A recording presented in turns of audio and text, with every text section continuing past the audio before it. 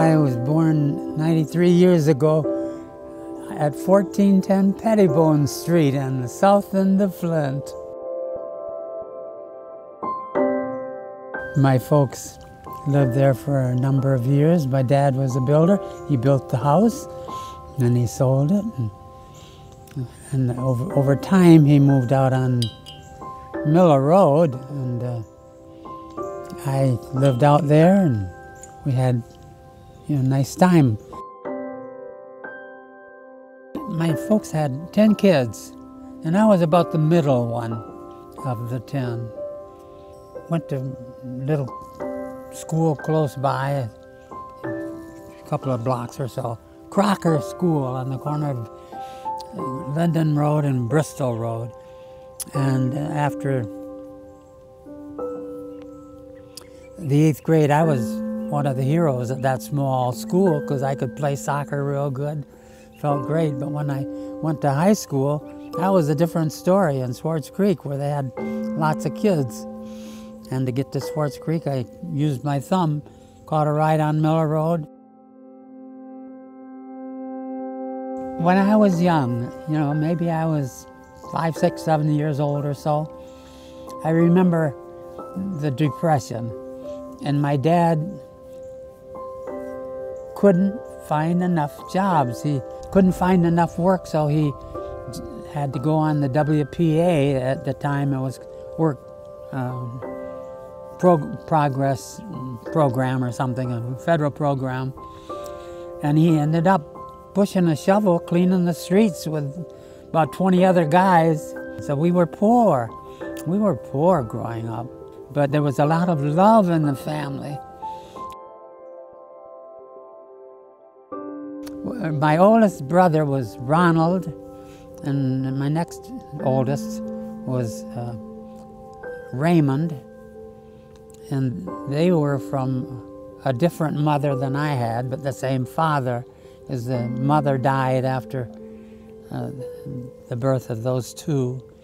And then came Ruby, and then Emerald, and Pearl, and Dallas, and me, and Bethel, and uh, and uh, let's see, Burl, Bethel, and uh, Junior, Ernest Junior. I think that's I think that's the right number.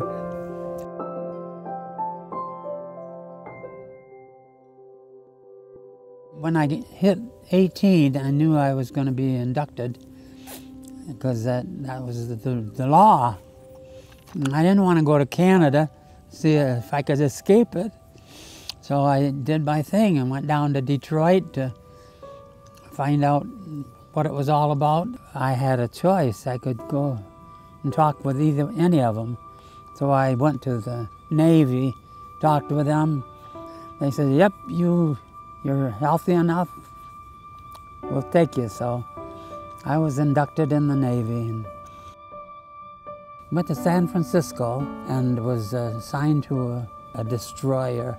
And I was on a destroyer for about six months in the Southwest Pacific. It was a minesweeper.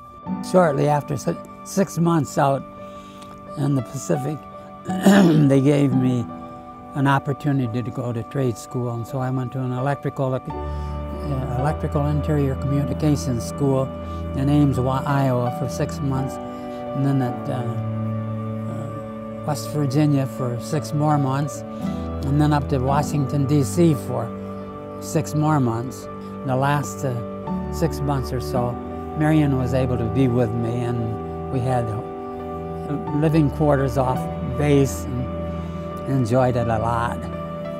But, uh, and I got my discharge and come home. And... Can you talk to me a little bit about how you met Grandma? Yes. Her church, she uh, went to a Methodist church in the north end of Flint, and our minister had invited their choir out to our church. And they had a choir of about 15 young kids.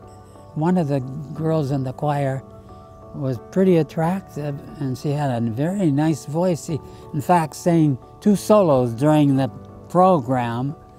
And so before they left, I met her out at the door and said, I want to, I want to meet you. And that was fine. So I said, would you go ice skating with me? And she said, yeah.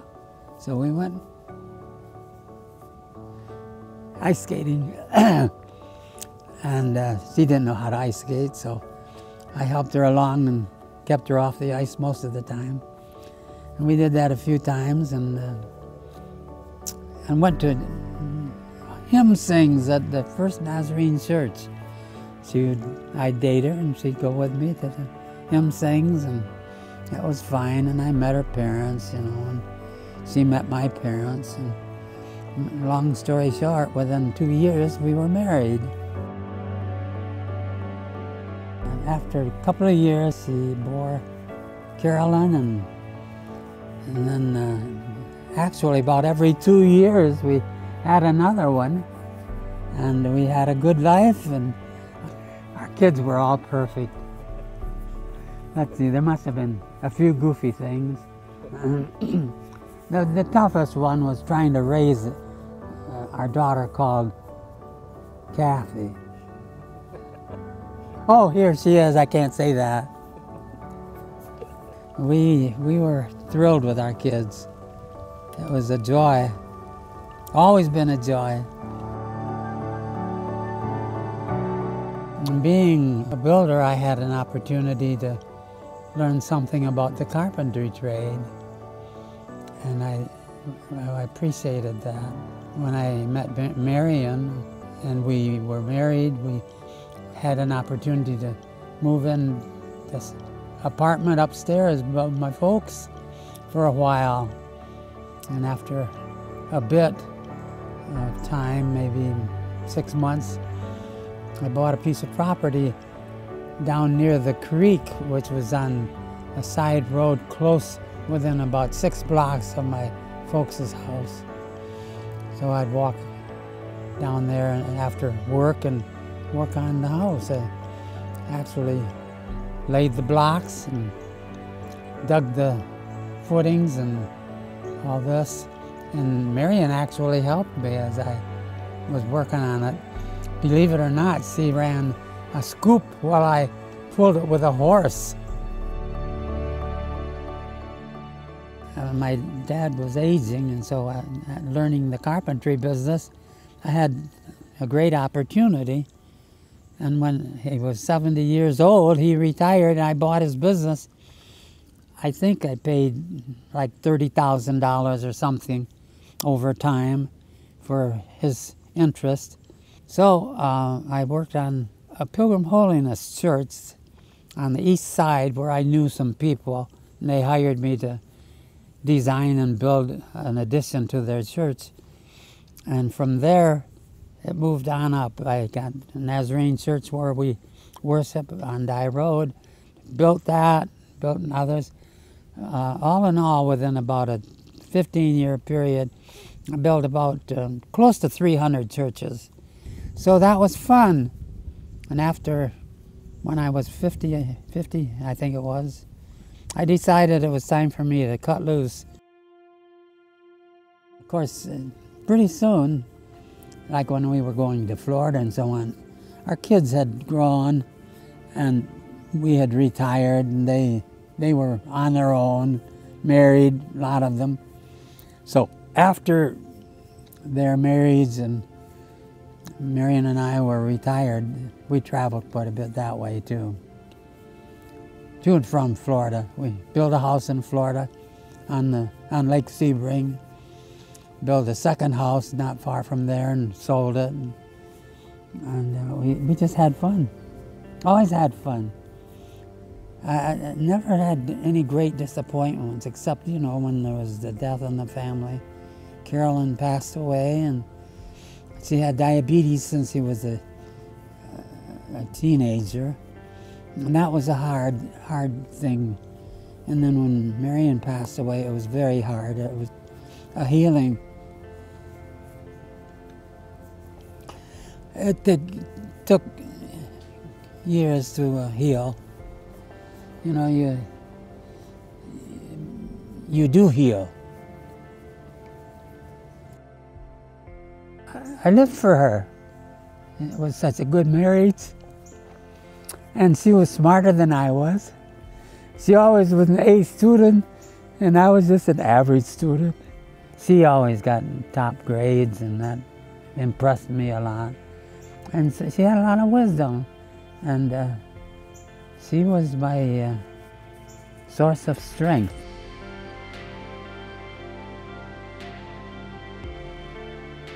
The last two years of her life, she became ill, and uh, that was very difficult. It was very difficult. She was actually bedridden for, I think, about two years, wasn't it? I can't see.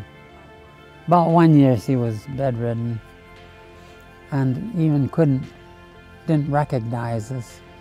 But uh, just before she passed away, she opened her eyes and says, My Dale.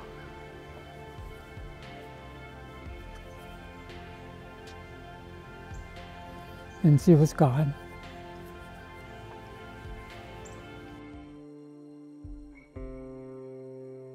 I love it when there's harmony in the family and how to uh, achieve that. Every family has to find their own way.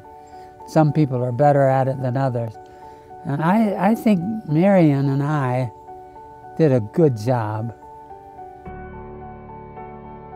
Seems to me that uh, kindness, but yet rules that are firm. There are certain rules that are important. Anyway, I always wanted the kids to be good guys and raise their kids that way. And I'm proud of all of us, all of you.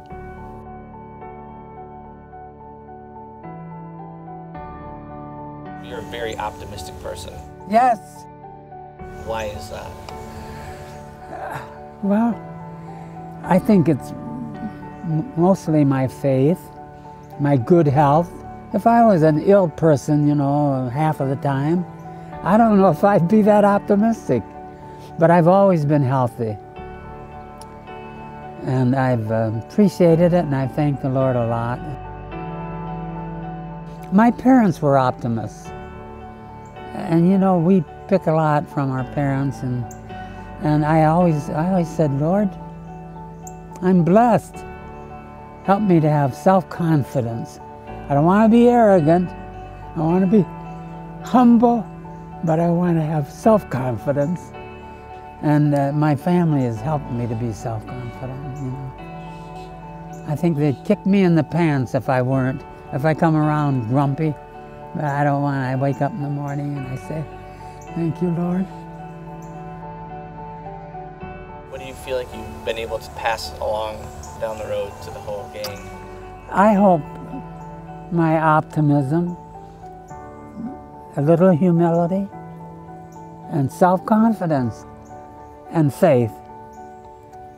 I, would like to, I'd like to live my faith so they can see that I'm genuine.